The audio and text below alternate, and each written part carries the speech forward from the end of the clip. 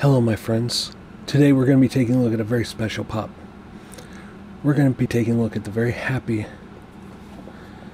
Pop Television number 558 The Joy of Painting with Bob Ross. Bob Ross. And he's not alone. Oh no, he's got a little friend there with him. He's got a happy little raccoon right there next to him.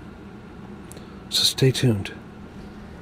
Hey guys, welcome back to Comicgeddon TV, the only place on YouTube where all geek culture collides. If you're new to the channel, make sure you hit that subscribe button so you don't miss out on future videos.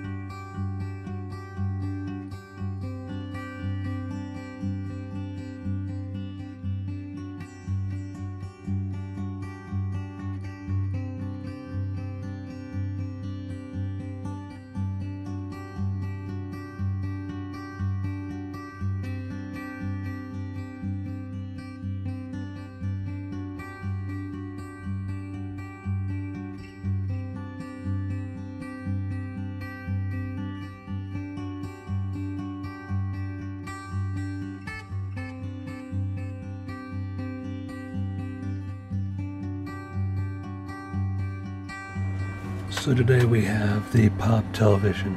Bob Ross, The Joy of Painting 558. Bob Ross and Raccoon vinyl figure. As you can see here, we have a happy little Bob Ross and a happy little raccoon right here on the front of the box. Very beautiful display side here. You have those happy little waves crashing against the shore. A few happy little clouds, and the sun shining through in the background. The same image is on the back.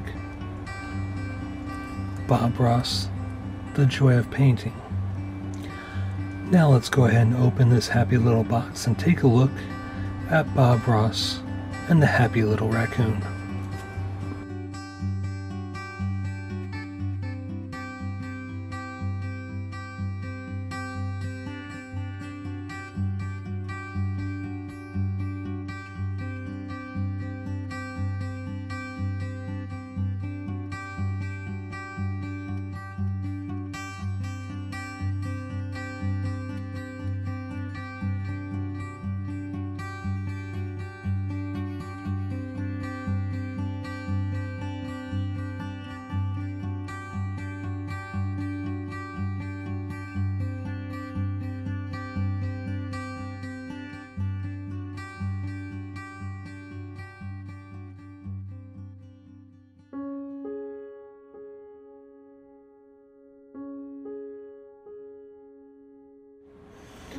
I'm not entirely sure what the purpose of the raccoon is for this pop, uh, but it's a nice little addition.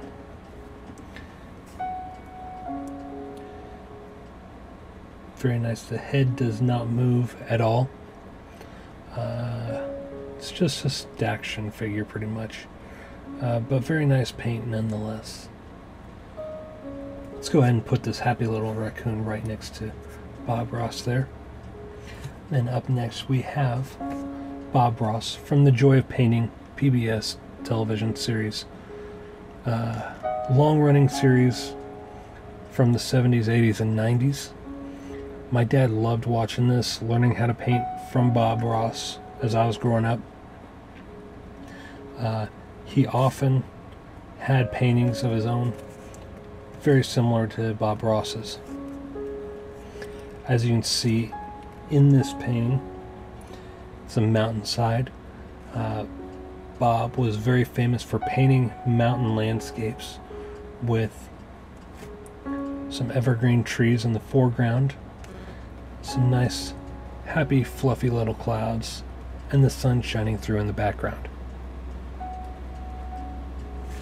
Uh, the paint, the paint on his beard uh, seems to be slightly sloppy. Uh, they did not take it all the way to the edge, as you can see there.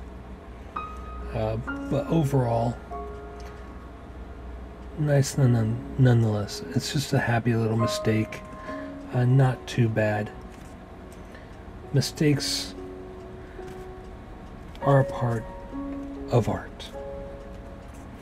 Of course, Bob Ross was always seen wearing his blue jeans and either a jean shirt or a white shirt because he wanted it to look timeless. He thought blue jeans and a button down shirt would always be timeless. People wouldn't really be able to tell uh, what decade it was filmed. Bob Ross was born on October 29th, 1942, and he did pass away July 4th, 1995. Uh, the reason for his passing away was a diagnosis of lymphoma, which he kept secret from the general public, and he really maintained a private lifestyle in life. For those of you who don't know, before Bob Ross took up painting, he was in the military, which is why he was the original, the originator of ASMR. Very soothing, very quiet voice. Uh, when he got out of the military, he swore he would never yell again, which is why he spoke so quietly in The Joy of Painting. It's a very nice, relaxing show. And they really did this pop very nicely to represent Bob Ross and all he was in life. So there you have it, my friends. This was the Pop Television number 558 Bob Ross, The Joy of Painting, Bob Ross, and Raccoon Vinyl Figure. I hope you enjoyed this video. Make sure you hit that subscribe button so you don't miss out on future videos. Go ahead and check out the other playlists on this channel.